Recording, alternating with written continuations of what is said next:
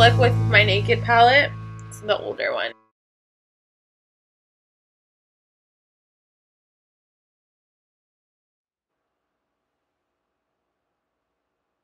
So we're going to apply our NYX eyeshadow base all over the eye. And then we're going to apply that all over the eye as it's shown here. Make sure you get everywhere you're applying eyeshadow. And then I'm going to use the Naked on the Naked base or Naked palette. And then I'll apply that all to the crease. Then I'm going to grab Buck and I'm going to do the exact same thing and then I'm going to grab a blending brush and blend it all out. Now with Gunmetal, I'm going to apply that right over the lid. Now I'm going to buff it out with the same blending brush and just blend, blend, blend. Now with Creep, I'm going to add that to the corner of my eye. Then with You're So Fine Elizabeth Mott um, liquid liner, I'm going to apply that and do my wing liner, as you can see there. And then with my Anastasia Anastasia Beverly Hill eyeshadow or eyebrow, I'm going to apply it to my eyebrows.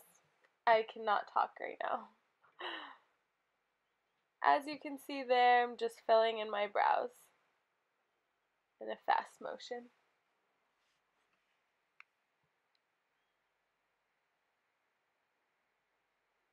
Now with the Tarte mascara, just going to apply that. With a Boo Boo cover up, I'm just going to apply that underneath my eyes and with my CoverGirl 3-in-1 foundation, I'm just going to apply that all over.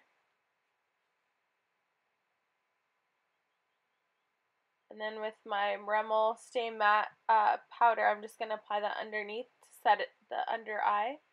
And then with my Makeup Forever uh, there's like a bronzing color and I'm just going to contour really fast. I didn't really go in depth with it just because my eyes are really intense, so I just thought to keep it as simple as possible.